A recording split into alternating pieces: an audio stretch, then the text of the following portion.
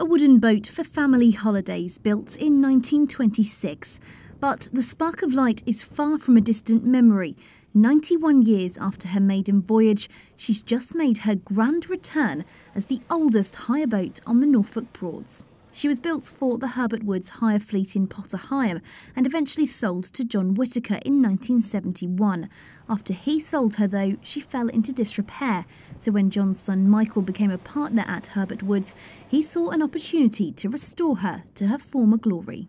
It was just so sad to see her uh, languishing in a boatyard up in Stalham, and every time I saw her, she just looked a bit tattier.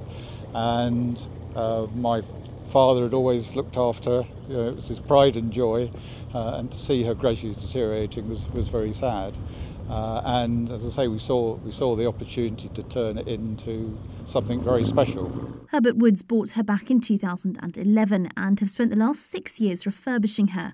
Keeping with her 20s heritage, there's varnished wood, vintage style accessories, and even the original engine, but also heating and safety features to make her comfortable for a modern holidaymaker.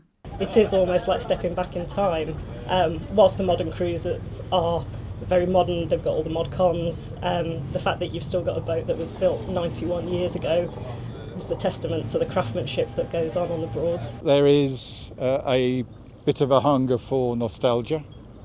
Uh, I think I think a lot of people, particularly of my age, sadly, um, you know, they think they think back to, to their youth when you know life was all a little little simpler and and boats were certainly a lot more basic than they are today, uh, and it's just something a little bit special. Spark isn't available for just anyone, though. With her valuable history, the team are being careful to only hire her out to experienced boaters.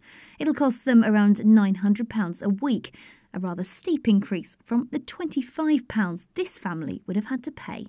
Lauren DuBois, Mustard TV, Potter Heigham.